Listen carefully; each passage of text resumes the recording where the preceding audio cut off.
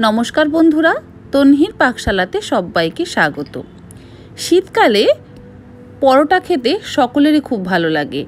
মানে একটু ভাজাভুজি খেতে প্রত্যেকের ভীষণই ভালো লাগে। আর শীতকালের শুরুতে ফুলকপি খুব ভালো পাওয়া যায়। এই ফুলকপি দিয়ে যদি পরোটা বানানো যায়, তার স্বাদ খুব ভালো লাগে। আমার আজকের রেসিপি ফুলকপির পরোটা।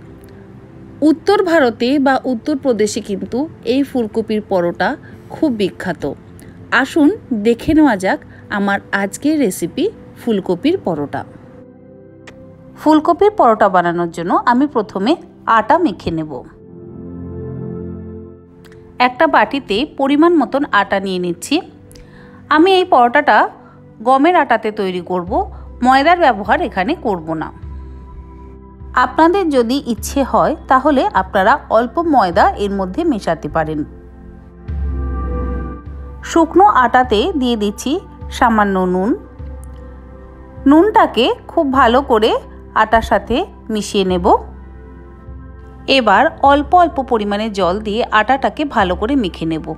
রুটি বানাবার জন্য যেমন আমরা আটা মাখি, ঠিক তেমনভাবেই এই আটাটাকে মাখবো। এতে আমি কোনো তেল বা ঘি দিয়ে ময়ান দিচ্ছি না। আমি কখনোই আলুর পরোটা বা ফুলকপির পরোটা করার সময় তাতে তেল বা ঘি দিয়ে ময়ান দিয়ে আটা মাখি না। আপনারা চাইলে তেল বা ঘি দিয়ে ময়ান দিয়ে আটা মাখতে পারেন। আমার আটা মাখা হয়ে গেছে। দেখুন, একদম রুটির আটা মাখার মতন আটা আমি মেখে নিয়েছি। এবার এটাকে ঢাকা দিয়ে 30 মিনিট রেখে দেবো। আমি একটা গ্রেটার নিয়ে নিয়েছি, যেটা দিয়ে আলু ভাজা কাটা যায়, ঠিক সেরকম একটা গ্রেটার আপনারা নিয়ে নেবেন। ফুলকপি নিয়েছি, এবার ফুলকপির একটা ফুল আমি ছিঁড়ে নেব। গ্রেটার দিয়ে ফুলকপিটাকে ভালো করে ঘষে নেব।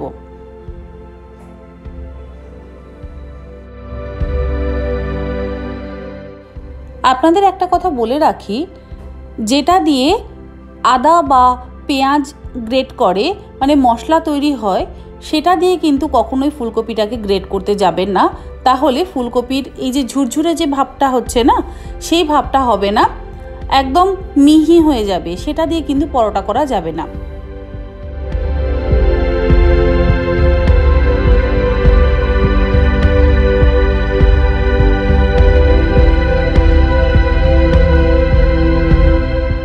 কপি গ্রেট করা হয়ে গেছে। এবার হাফ চা চামচ জোয়ান নিলাম। জোয়ান হাতের তালুতে নিয়ে খুব ভালো করে ঘষে নেব। সেই জোয়ানটা কপিতে দিয়ে দেব। আর দিয়ে দিচ্ছি এক চা চামচ চিলি ফ্লেক্স। হাফ চা চামচ জিরে গুঁড়ো। নিয়ে নিয়েছি ধনে পাতা।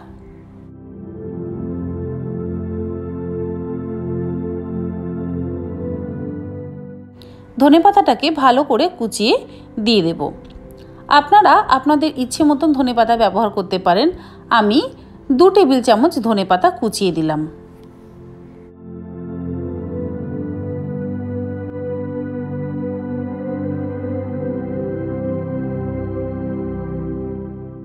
দুটো কাঁচা লঙ্কা নিয়ে নিয়েছি। কাঁচা লঙ্কাটাকে কুচিয়ে দিয়ে দিচ্ছি। আপনারা চাইলে লঙ্কার গুঁড়ো এর মধ্যে দিতে পারেন।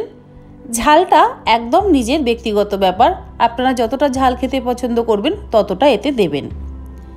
ইচ্ছে হলে ধনে গুঁড়েও দিতে পারেন। এবার সমস্ত কিছুকে ভালো করে মিশিয়ে নেব। নুন কিন্তু আমি এখন দিচ্ছি না, কারণ এখন যদি আমি নুন দিই, তাহলে কপির থেকে জল কাটতে শুরু করবে। তাই জন্যে নুনটা আমি পরে দেবো।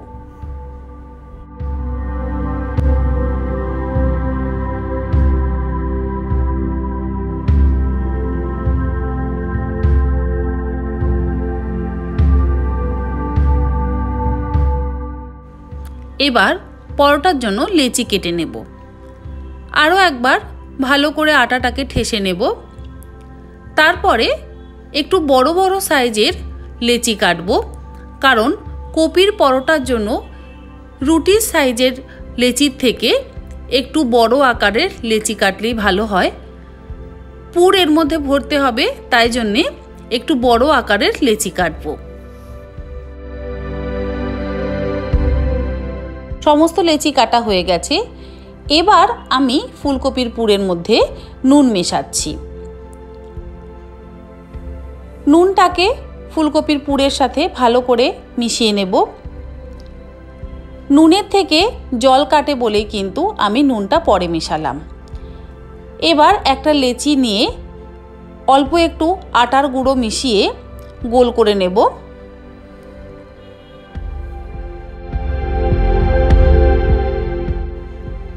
দুটো আঙুল দিয়ে ঘুরিয়ে ঘুরিয়ে একটা বাটির শেপ তৈরি করে নেব।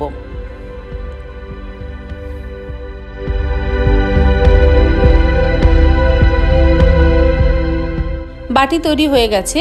এবার এর মধ্যে ফুলকপির পুরটাকে ভরে দেব।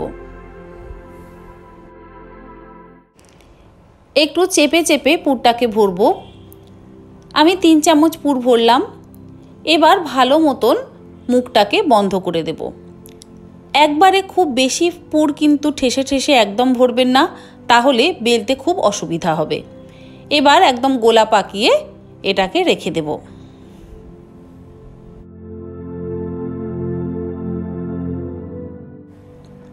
আরও একটা পুর ভরা দেখিয়ে দিচ্ছি। ঠিক ওই একই রকমভাবে অল্প একটু আটার গুঁড়ো মিশিয়ে একটা বাটি তৈরি করে নেব।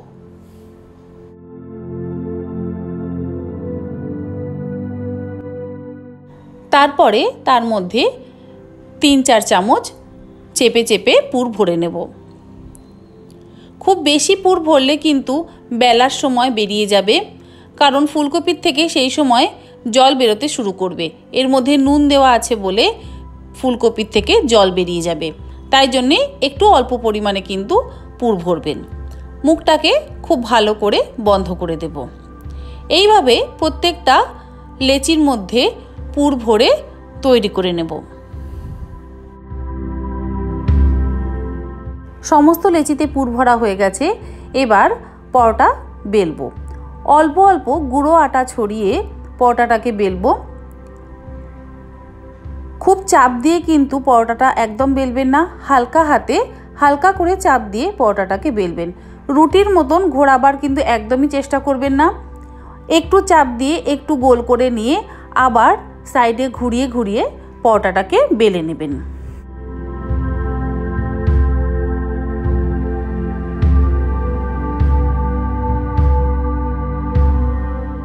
দেখুন, কেমন সুন্দর পরোটা বেলা হয়ে গেল, একটুও কিন্তু পুর বাইরে বেরোয়নি।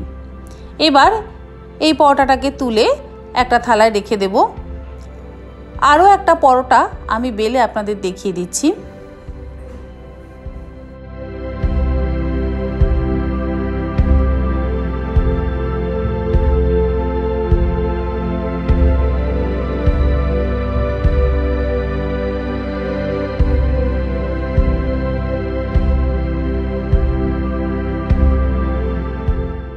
আরও একটা পরোটা বেলার সহজ পদ্ধতি আমি আপনাদের দেখিয়ে দিচ্ছি। অল্প অল্প গুঁড়ো আটা ছড়িয়ে এইভাবে আঙুল দিয়ে সাইড থেকে চাপ দিয়ে দিয়ে পরোটাটাকে বড় করে নিতে পারেন। অনেক সময় কি হয়, বেলুন দিয়ে যখন আমরা পরোটা বেলি, সেই সময় পরোটার মধ্যে কিন্তু হাওয়া ভরতে ভরতে একটু ফেটে যেতে পারে। সেই জন্যে এই পদ্ধতিটা কিন্তু আরও সহজ পদ্ধতি। এইভাবে সাইড থেকে চাপ দিয়ে দিয়ে কিন্তু পরোটাটা বড় করে নেওয়া যায়।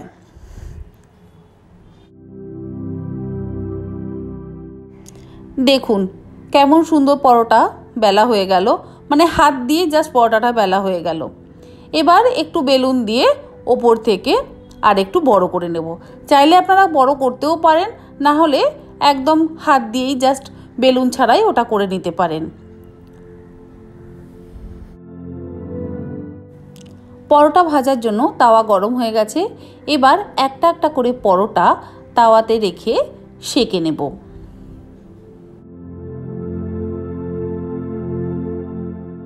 একটা সাইড সেঁকা হয়ে গেলে অন্য সাইডে উল্টে দেব। দুটো সাইড খুব ভালো করে সেকে নেব।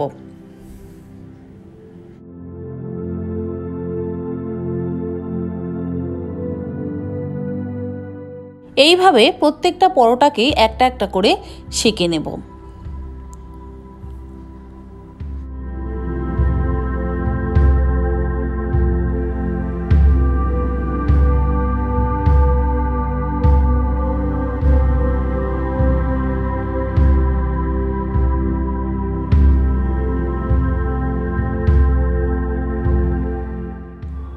পরোটা সেকা হয়ে গেলে এবার অল্প অল্প ঘি দিয়ে পরোটাটাকে ভেজে নেব। খুব বেশি ঘি ব্যবহার করা দরকার নেই। একদম সামান্য অল্প অল্প ঘি ব্যবহার করলে কিন্তু পরোটা ভাজা হয়ে যাবে। আপনারা যদি ঘি ব্যবহার করতে না চান, তাহলে তেল দিয়েও এই পরোটা ভাজতে পারেন। ঘিতে স্বাদটা একটু ভালো হয়, সেই জন্যই আমি ঘি ব্যবহার করি। একটা সাইড ভাজা হয়ে গেলে অন্য সাইড উল্টে দিতে হবে। মিডিয়াম ফ্লেমে পরোটাটাকে কিন্তু ভাজতে হবে। কপিটা আমরা এখানে কাঁচা ব্যবহার করেছি, সেই জন্যে অল্প অল্প হিটে পরোটাটা ভাজতে হবে। হাই হিটে ভাজলে ভেতরের কপি কাঁচা থাকবে আর ওপর থেকে পরোটাটা পুড়ে যাবে। তাই জন্যে মিডিয়াম ফ্লেমে পরোটাটাকে ভাজতে হবে।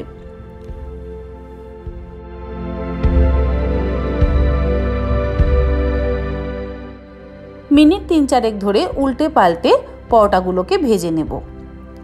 এইভাবে প্রত্যেকটা পরোটাকে প্রথমে সেঁকে নিয়ে তারপরে অল্প অল্প তেল বা ঘি দিয়ে ভেজে নেব। তৈরি হয়ে গেল গরম গরম ফুলকপির পরোটা। টক দই কিংবা লঙ্কার আচার বা মিক্সড কোনো আচারের সঙ্গে এই পরোটা খুব ভালো লাগে।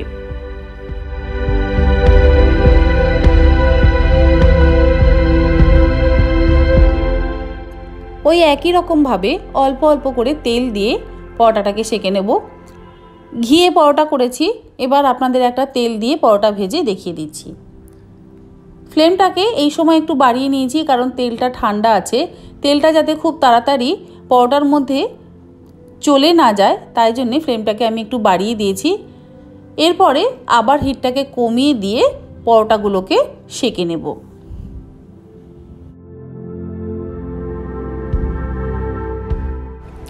আমার এই রেসিপিটা আপনাদের কাছে ভালো লেগে থাকলে আপনারা অবশ্যই একটা লাইক করবেন। বন্ধুবান্ধব বা আত্মীয় পরিজনের সঙ্গে শেয়ার করে নেওয়ার অনুরোধ রইল। কমেন্ট করে জানাবেন রেসিপিটা আপনাদের কেমন লাগল। চ্যানেলে নতুন হলে চ্যানেলটা সাবস্ক্রাইব করে নেওয়ার অনুরোধ রইল। পাশে থাকা বেল আইকনটা অবশ্যই প্রেস করে দেবেন, কারণ আমি নতুন কোনো রেসিপি চ্যানেলে দিলে আপনাদের কাছে খুব তাড়াতাড়ি পৌঁছে যাবে। আজকের মতো এই পর্যন্ত। আবার দেখা হবে নতুন কোনো রেসিপি নিয়ে। ধন্যবাদ।